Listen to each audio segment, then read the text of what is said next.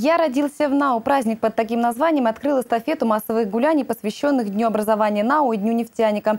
Этот блок организаторы праздника посвятили чествованию юных жителей округа, участникам интеллектуальных и творческих конкурсов. Впрочем, интересно и весело на празднике было всем. Начался праздник с торжественной церемонии вручения губернаторам свидетельств о рождении детей, которые появились на свет в день образования округа. В день образования нашего округа, 15 июля, в этом году на свет появились четыре малыша.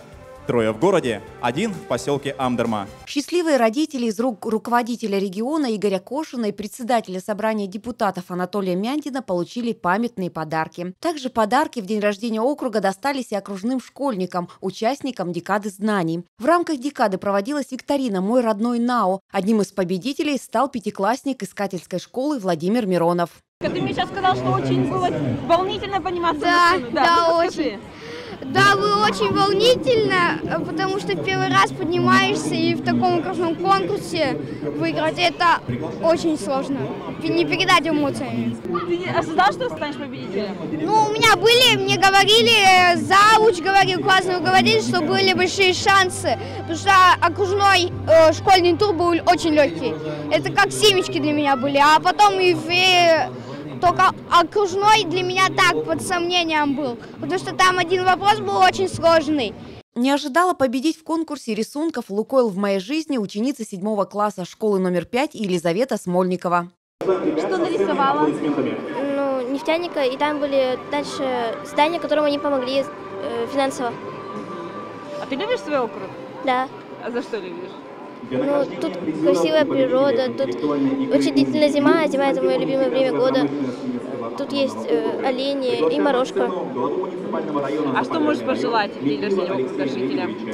Чтобы округ э, процветал и не было проблем с э, коммунальными, с, э, с коммунальными услугами. Пока Елизавета Смольникова, Владимир Миронов и другие одаренные ребятишки получали свои заслуженные награды, юные и взрослые жители округа осваивали творческие площадки праздника.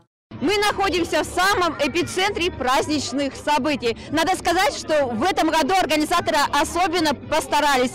Все площадки они разделили на три тематические зоны. Это арт-галерея, ресторанный дворик и детский городок. Богатый ассортимент площадок не давал скучать многочисленным гостям. В этнографические игры с удовольствием играли и взрослые, и дети. А как игра называется правильно? А вот это сама игра тэпка, тэпка. деревянный гвоздь, да. Значит, мы берем либо по одной, либо по две. Если останется, например, я взяла, да, э, э, например, я взяла три штучки, осталась одна, значит, я получаю Шалбан. А сколько уже кто шалбанов заработал? Я один уже заработала. А вы сколько? Нисколько. Еще одна забава, которая пользовалась спросом – игра в косточки «Поймай оленя». Покажи, это, как это, это нужно будет целиться прямо в косточку.